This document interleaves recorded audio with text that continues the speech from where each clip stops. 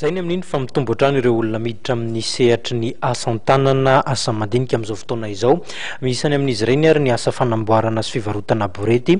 Asa tsy vitan'olon-tokana izy ity fa ifandrimbonana, araka ny izao fanazavana izao. Raha ho an'ity mpivarotra borety iray izay sendranay ity izao dia ho efa ho fito taona no nanaovany ity asa ity ka mbola manohy izany ihany izy hatramin'izao. Manodidina ny telo alina ariary ka hatramin'ny dimy alina ny borety iray amin'izao hoy ny nambarany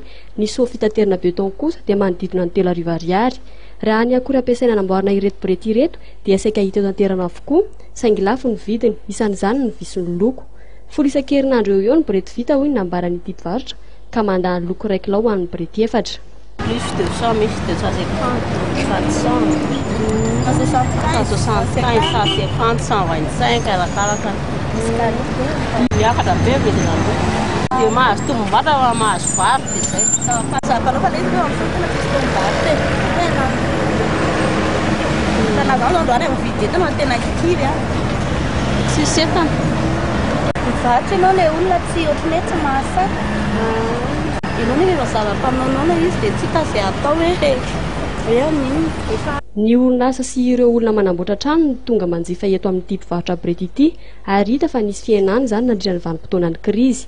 Tsy misy tombony fahasafanao ny fivarotana biriky hoy hatrany nambaran'ity mpivarotra. Tsy ho an'ny biriky ihany anefa fa saika ny asa tanana malagasy no misedra olana toy izany hatramin'izay noho ny fitobahan'ny entana avy any ivelany.